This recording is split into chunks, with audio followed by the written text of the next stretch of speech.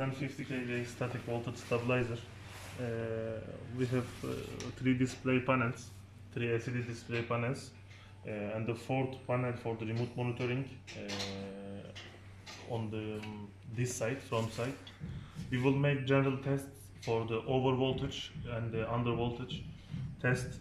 So our uh, input voltage regulation range for the phase to phase uh, 275 up to 450 but the display is showing the vo input voltage phase to neutral so our voltage range 160 up to 255 you can see each parameters on the panels input voltage output voltage frequency and load percentage. Also you can check the, um, these buttons on the menus for the event memory till uh, 1000 events.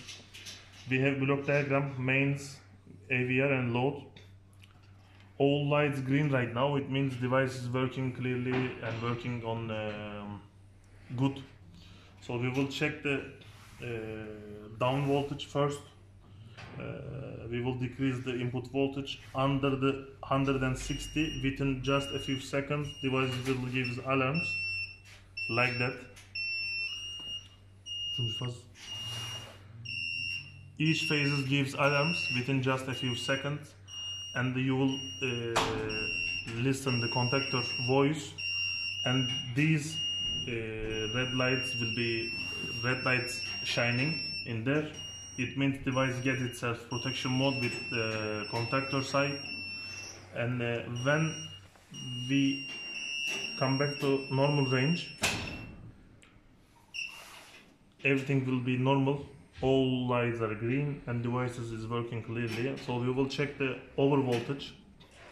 Our up uh, our down um, our up limit 200 our up limit was 255 so we will check the over this voltage. And device will gives over voltage alarms for the each phase and the contactor is on the circuit. It means device get itself protection mode against the over voltage so we will check the normal range again. You can see it's within just a few seconds. It means uh, within the um, because of regulation speed. So fourth panel uh, thanks to fourth panel uh, it provides us remote monitoring with uh, RS485 uh, remote monitoring protocol you can see each voltage on the panel also for the each parameters uh, power consumption load percentage uh, current per phase voltage per phase uh, in between connection with this device on the backside ethernet port uh, to your computer and you can check each parameters on there.